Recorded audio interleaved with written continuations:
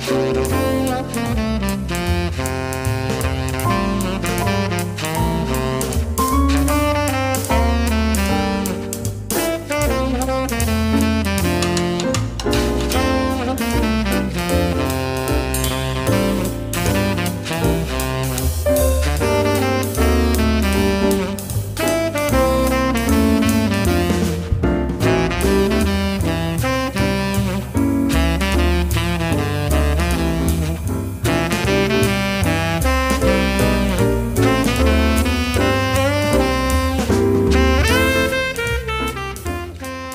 Buenas noches. Este año me dirijo a ustedes desde nuestra emblemática Puerta del Sol, donde se oyen y se mezclan ahora mismo todos los acentos del español de todas las regiones y de todas las partes del mundo. Esta puerta, que como Madrid nunca se cierra y nos recuerda hoy la promesa que nos hicimos hace un año, que tras tanto sufrimiento, este sería el año del trabajo y la esperanza, que sabríamos estar a la altura tras haber comprobado que no sobraba nadie, que cada vida es única e insustituible y que cada uno desempeña un papel fundamental para los demás. Aún seguimos luchando contra el virus y a favor de las familias, las empresas, los autónomos, el empleo, el turismo, la hostelería, los servicios públicos, la colaboración público-privada, la innovación y la inversión.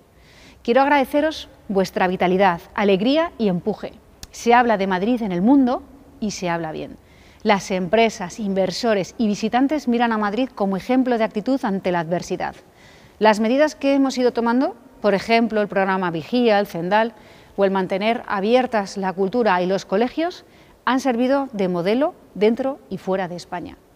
La vitalidad de las calles revela que en medio de todo la libertad y la responsabilidad como modelo se corresponden con nuestra forma de ser.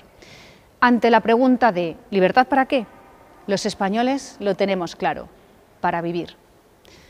Algunos nos quieren dependientes, tristes y quejumbrosos, pero en Madrid, donde se reúne toda España y de muchas partes del mundo, especialmente de Hispanoamérica, sabemos que somos alegres, luchadores y que no queremos depender de nadie, sino ser motor de nuestras vidas y de la nación, ejemplo para Europa y el mundo.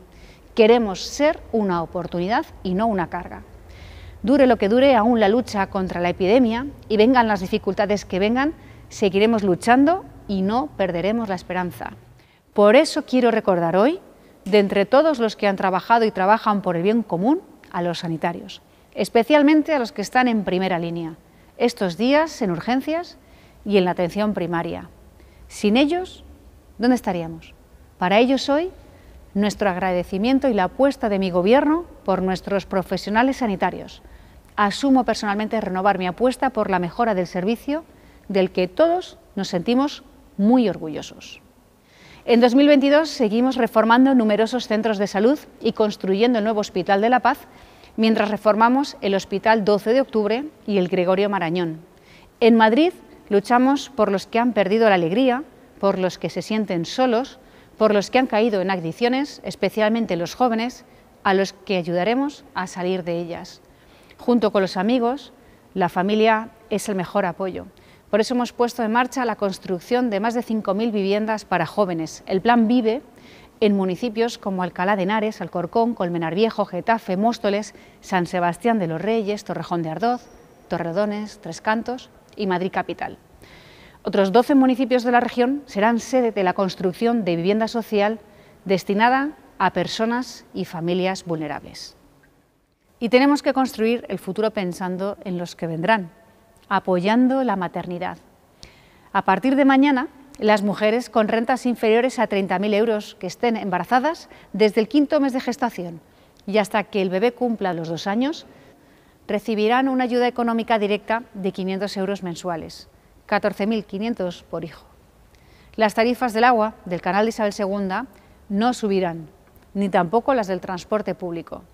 Habrá 9.000 nuevas plazas en residencias para nuestros mayores con 62 profesionales por cada 100 residentes, junto con una nueva rebaja del abono transporte para mayores de 65 años, que costará poco más de 3 euros. Vamos a mejorar y construir nuevos centros educativos, a hacer gratuita la escolarización temprana, a reducir el número de alumnos por clase y a rebajar las tasas para los grados y los másteres habilitantes. El transporte es clave en toda la región y las obras como las del tercer carril de la M607 entre Tres Cantos y Colmenar Viejo serán clave para mantenerlo. Esta es parte de la apuesta que hacemos todos los que vivimos en la Comunidad de Madrid por un futuro de prosperidad compartida. Estos planes requieren una justicia rápida, eficaz y humana con las víctimas. El próximo mes de junio se iniciarán los trámites para la creación de la nueva Ciudad de la Justicia en Valdebebas y se sumarán nuevos juzgados de lo social en la capital y otros mixtos en Arganda del Rey, Valdemoro, San Lorenzo del Escorial y Navalcarnero. Pero no solo debemos cuidar de todos, sino contar con todos. Eso es lo que quieren los mayores y nosotros no podemos permitirnos prescindir de su experiencia. Unidos saldremos adelante. El desacuerdo no debería degenerar en polarización, ni la preocupación en hartazgo ni mal humor. Los madrileños hemos demostrado estos meses una dignidad impresionante, todos, que no se nos olvide. El único enemigo estos largos meses ha sido el virus y así debe seguir siendo. Unirnos, conservar la alegría, ayudar a los que sufren o se han desanimado a encontrar esa inspiración y la ilusión por la vida. Pero también cuidar de las personas que son maltratadas, explotadas, de los vulnerables, de los que han perdido su empleo, su empresa o a un familiar estos son mis empeños para 2022 que me gustaría que compartiéramos todos. No hay dos personas iguales y así debemos entenderlo las administraciones públicas. Hacer una administración más flexible será otro de mis retos para el año que comienza. Vamos a acometer la mayor rebaja fiscal de nuestra historia como comunidad autónoma.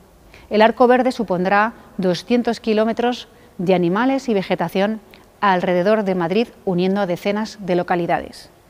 Nuestros 179 municipios son nuestros 179 mejores activos con los que Madrid compite universalmente con las regiones más pujantes del momento.